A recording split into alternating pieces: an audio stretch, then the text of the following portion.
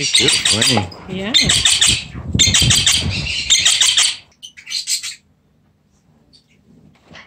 Oh, he's talking to you. You can stroke his foot. He's talking out, you can slice his foot.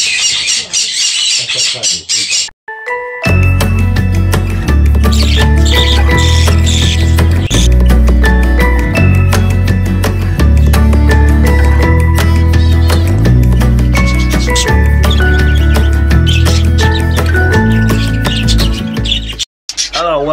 Hello and welcome guys, hope you're okay. This is video from last time when I went to visit a breeder and I brought home some cockatiels. I went to a breeder yesterday, had a, a lovely time, met some lovely people. Sorry I didn't do the video yesterday, but all it means is today you're going to get lots of videos all on Sunday.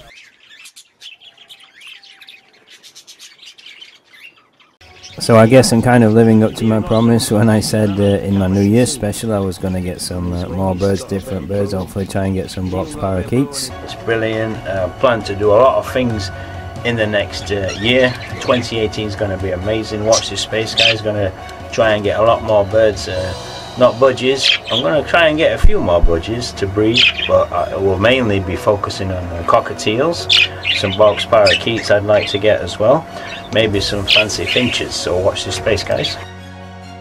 So let's take a look what happened and uh, what I brought home.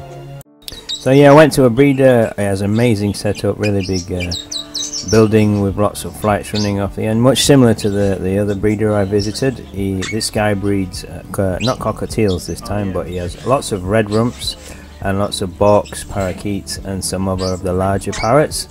So let's take a look at some of the birds that he's got. I think this is some of the red rumps.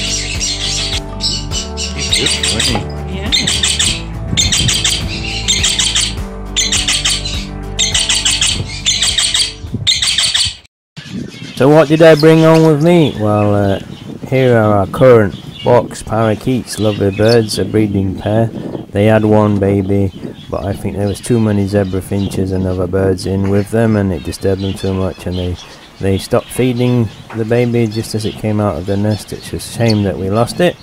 So this time we're going to have uh, we're going to rebuild the aviary. We're going to have the parakeets separate from the zebra finches and to go with my lovely pair of Bourke's parakeets uh, we've bought these guys. We bought these home. Absolutely lovely.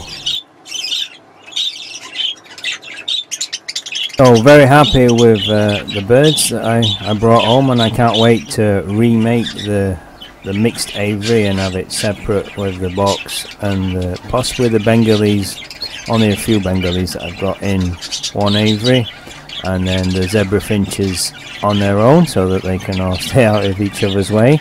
And I'll be doing that uh, towards the end of February. So that's something to look forward to because I'm going to be videoing it documenting it making guides and videos about the birds in there and uh, possibly a new tour and a guide on how to build the aviary and etc so that's something to look forward to so anyway, I hope you've enjoyed uh, this video. I hope you like the, the new birds I've got. Lovely Rubino and the split Rubino.